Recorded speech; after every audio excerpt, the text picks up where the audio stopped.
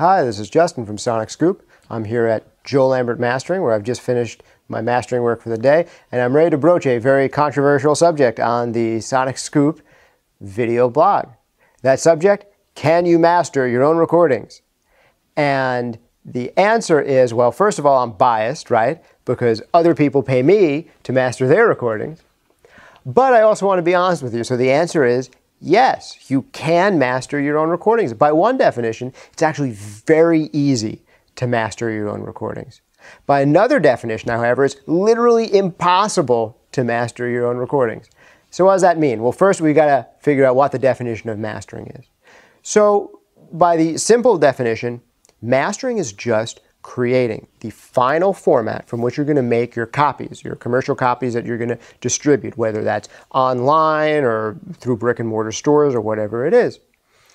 And back in the day, this was a very involved process, right? People were mixing the tape, and you had to take all these disparate tape mixes and get them onto the primary distribution channel at that time, vinyl records, right? So someone had to cut an acetate. This is a very uh, involved tedious process. Most people who are mixing records don't want to do this part of the process. It's very technical and uh, difficult to do. And you'd have to take all these disparate tapes, get them onto one record. That was your master from which you're going to stamp out copies. But today, obviously, the technology is a lot simpler and easier. If you have Pro Tools or Logic or a free version of GarageBand with your Mac, you can spit out uh, the right resolution file you can even drag it into iTunes and put in your titles, you know, your uh, song names, your album name, your artist name. Uh, so creating the master is actually really easy. But there's another second piece of mastering that mastering engineers did um, almost as an ancillary kind of add-on, and that is while they were getting all of these different mixes onto the one final master, they would add maybe EQ. Maybe some songs sounded nice with a slight bass boost, and others needed the bass brought down a little bit. On one song, you might need a slight treble boost. On another, you might bring down uh, the treble a little bit. You might add compression and uh, excitement and uh, height and depth and width. And that's really the remaining value in mastering. But the remaining value in mastering is not just that sweetening because anyone can do that sweetening. And those tools can be part of your mixing process. The remaining value of mastering and of mastering engineers is that you have a separate person who's not the mix engineer doing those tweaks in a room that's especially suited to the task. It's kind of a third party independent QC of your own mixes. It's someone double checking your work and making sure that your mixes sounded as great as you intended them to sound, and hopefully a little bit better, right? Still. So, on a really, really great mix, what the mastering engineer might do could be very, very slight. Maybe it's just bringing down the bass by a dB because it's a little hot in one spot. And we're able to check that out in a room that's perfectly balanced to uncover those little details. But it could also mean a lot more than that. It could be mean, you know, you might have problem frequencies, there might be resonances in your mixing room that we can help you discover. Now, why do you need an independent third party to do this? Well, the answer there is you don't really need anything technically, but I think there are reasons you might want one.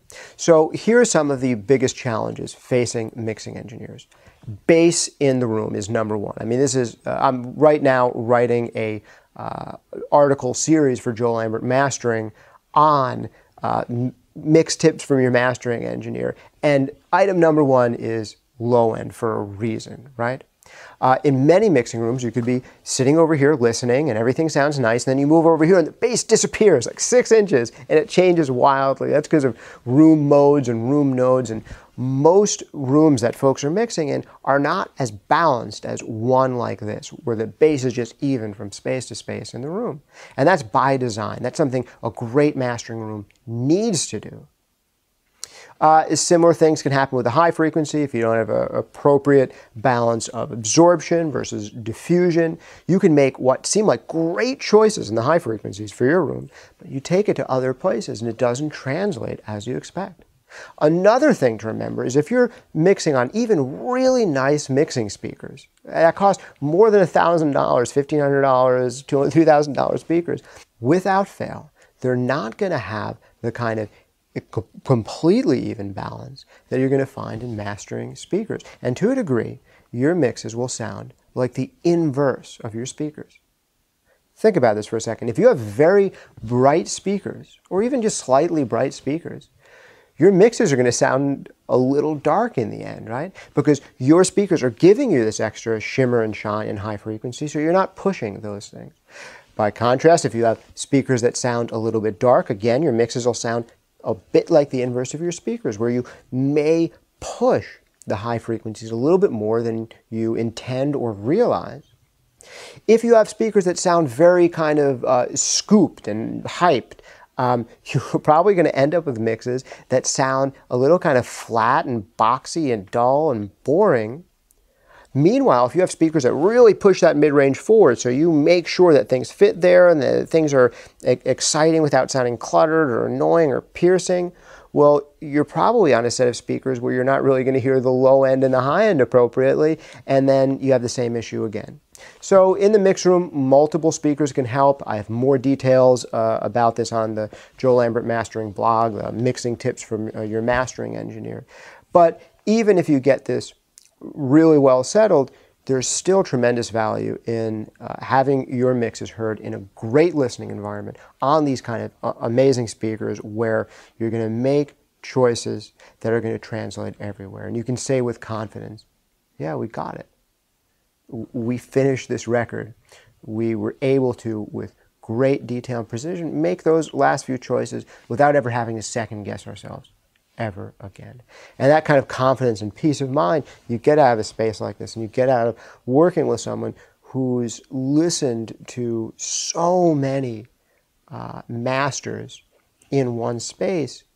Uh, you're, you're, only going to get that out of that situation. You're not going to get it out of just making things louder or EQing things yourself in the same mix room that you mix the damn thing in, right? So there's the answer to the question. Uh, by one definition, if mastering just means creating the final format you're going to make copies from, yes, anyone can master, and you can master something you recorded or mixed or whatever. But if mastering means an independent QC by someone who is specialized on that end of the process, in a room specifically devoted to that task and designed for that task. If that's what mastering means, then it's literally impossible to master your own recordings. Uh, I encourage you to learn more about the mastering process and even try it. Maybe try it for uh, if there are mixers kind of junior to you who look up to you and respect you and are always asking you for tips. You can try, you know, mastering some of their stuff. You might even just feel comfortable doing the last bit of the, the mastering process for kind of lower budget projects, um, and it might turn out great. But I'd encourage you uh, it doesn't have to be me. Sit down with a mastering engineer in a room like this one and hear your mixes for the first time and the kind of detail you're going to get out of this space. I'm amazed when clients come in and they sit down on the couch and I'll be kind of doing my thing when I have this attended session and I'll start to get worried because I think that they're really bored because it's really quiet behind me. And they're not saying anything, and I'm like, oh my God, it's just the most boring thing in the world watching me, you know, twiddle these knobs. And I'll turn around, and their jaws will just be dropped. And it's just because it's an amazing environment to listen to music in. And it's not an amazing environment because these speakers are hyped up and they're meant to dazzle you from minute one. It's because you're hearing things in such detail and such clarity uh, that you're hearing things in the mixes you've never noticed before, never heard before. You're hearing the subtlety of uh, attack and release settings on a compressor that make you go, oh wow, I finally get what this is doing and what my bus compressor choices did to the mix. And it can be so informative and it can, uh, you can leave the space, you know, for the first time feeling like you really understand what's going on in your mixes. It can really change your mixing for the better for life. So I'd recommend you do it. I recommend you come down to a great mastering studio if you can and hear your own mixes on a great system. Even that is worth the price of admission. But with that said, you know, mix it to sound mastered. Ideally, your mastering engineer doesn't want to have to do a lot only because the better the tracks are coming in, the better we can make them, right? We can either help you self, solve problems, and we're happy to help you solve problems. But better yet, we can take great track to perfection, to being something that's really genuinely memorable. Uh, and that's what I love doing. So I hope this doesn't feel like too much of a sales pitch, but when I start to talk about mastering, I get excited. So at the end of the day, you have my blessing as a mastering engineer to compress your own mixes or limit your own mixes or EQ your own mixes if that's what you want to do. I do have guidelines about how far you should go with those things if you plan on working with a mastering engineer. But on the projects where you really care, where these mixes, these recordings are going to become part of your calling card forever, you definitely want the independent QC at the end of the process. A little bit of specialization can be a very good thing. And when you let the mastering engineer obsess about things like high frequency and low frequency balance, do we have the, just the right amount of shimmer on top and boom on bottom, it lets you obsess about the mix. And that's not to say you shouldn't be thinking about the high end and the low end and the depth and the width when you're mixing. You absolutely should but you shouldn't be obsessing about it. What you should be obsessing about is the mix, about making bold choices with balances and effects and these tweaks that only a mixing engineer can do. And I've seen so many new mixers get distracted by obsessing about the mastering engineer stuff, the, the high frequencies and low frequencies and the boom and the width, and they forget to make sure that their guitar solo is louder than the hi-hat, right?